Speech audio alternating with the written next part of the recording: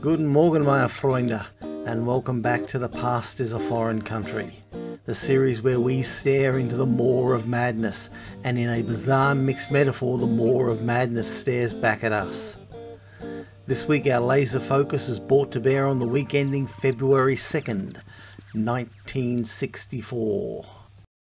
At number 10 this week is our old chums Cliff Richards and the Shadows with an odd little song, Don't Talk to Him. Cliff's lady friend is being gaslighted by some blackguard, so Cliff gets into a bit of a counter gaslight. A definite Beatle influence, particularly in the drumming, in this song written by Cliff and fellow Shadow and one time Olivia Newton John Paramore, Bruce Welch. Very pleasant indeed. At number 9, it's the King, baby. Elvis is back at his hip swiveling pelvitastic best in his movie Fun in Acapulco with this classic bossa nova baby. If this song doesn't fill your life with utter unbounded joy and make you want to rise from wherever you are and do a ridiculous dance, seek professional help. Number 8. Christmas records usually drop off the charts as soon as the day has passed, but Roy Orbison's monumentally sad Pretty Paper, which was one of the first hits Willie Nelson ever wrote, was still high on the charts two months after the season.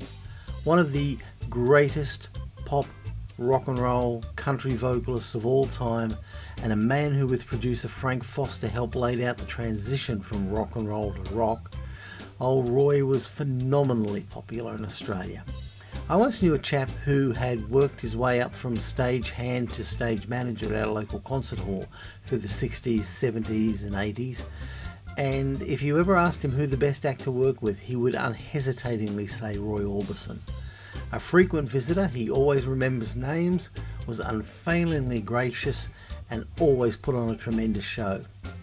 Who, you might ask, were the worst to work with? He said Creedence Clearwater Revival because he'd never seen four people who hated each other so much, and Bob Marley's People. Number 7, there's not a moment's drop in the excitement as the Dave Clark 5 storming glad all over spins in at number 7 full of infectious vivacity and Beatlesque hooks. There isn't a moment wasted nor undevoted to lessening the energy. Respectable hitmakers at home in Britain, the DC5 are absolutely huge in the US, bagging 17 top 40 hits. It could be argued that Mike Smith was a presentable singer at best and Clark himself was hardly in the top flight of drummers, but their music was successful precisely because it needed a shouter up the front and a basher at the back legendary Australian group The Atlantics were in at number 6 with their awesome surf epic The Crusher. The first Australian band to write their own hits, The Atlantics sounded different from their American surf rock counterparts such as The Ventures because they took on the tonal influences of The Shadows and had one mega hit in Bombora, number 510 on the list of biggest ever hits in my hometown, ironically one spot higher than Good Vibrations by those erstwhile masters of surf music, the Beach Boys. Their next release in March was War of the Worlds, a thrilling slice of space rock long before Hendrix or Syd Barrett, which was bizarrely banned by many stations. Who bans an instrumental record? Let's catch our breath with some factacular fun facts before we careen off into the top 5. Movers and shakers this week I can't give you, as no chart was published for the previous two weeks, but I can tell you that the emeritus record on the charts was Jimmy Gilmer and the Fireballs' notorious Sugar Shack. Notorious because when it made number one on the US R&B charts in November 1963, the powers that be decided if records that white bread and pop could make number one on the R&B chart, there was no point in having an R&B chart, and suspended it for a year, when it came back as the soul music chart with a new metric. Other classic records on the top 40 this week, but lower than the top 10, included surf music stunners Hey Little Cobra, Surfin' Bird, and He's My Blonde Headed Stompy Wompy Real Gone Surfer Boy by local princess Little Patty. And big UK hits Geronimo by The Shadows and You'll Never Walk Alone by Gerry and the Pacemakers, a song which naturally I despise.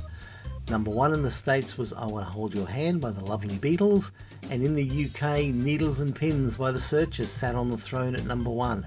Number one album was, well, I can't tell you, we didn't have a local albums chart until 1965, but it was probably My Fair Lady.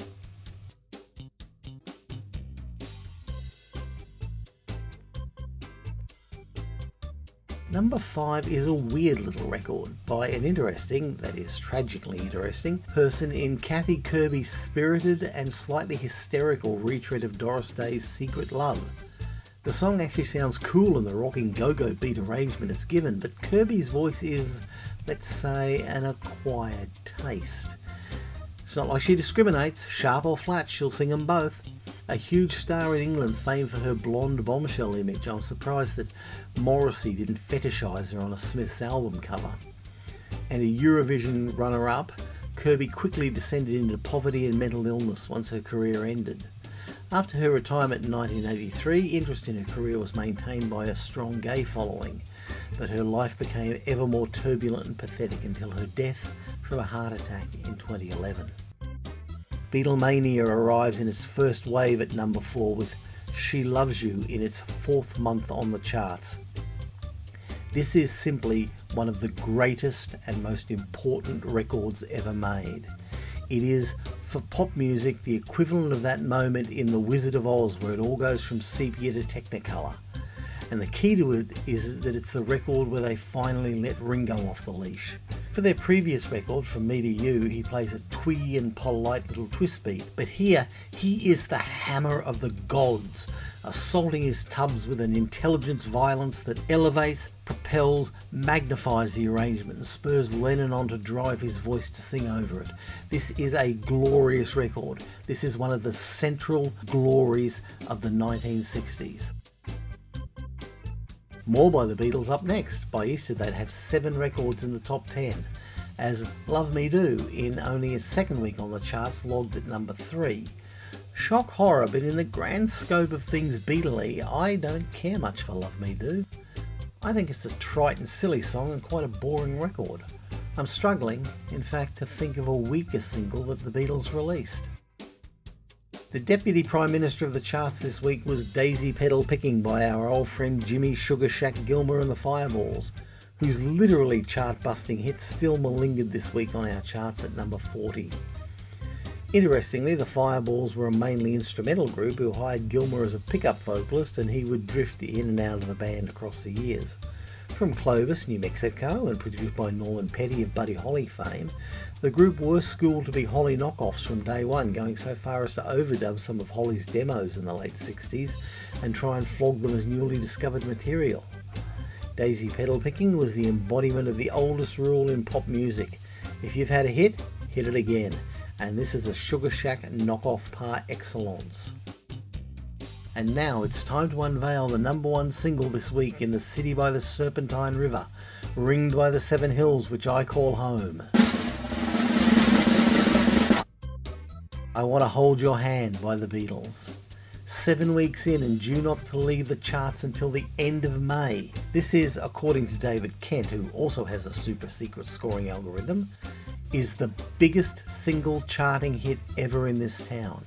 A record of such monumentally consequential importance, possibly the first record where rock music begins to diverge from and become distinct from rock and roll, although the argument could also be made for She Loves You in that regard. In terms of the most important, most far reaching records ever made, it ranks with Crazy Blues, T for Texas, Wabash Cannonball, Body and Soul, Ida Red, Woody and You, or Rock Around the Clock.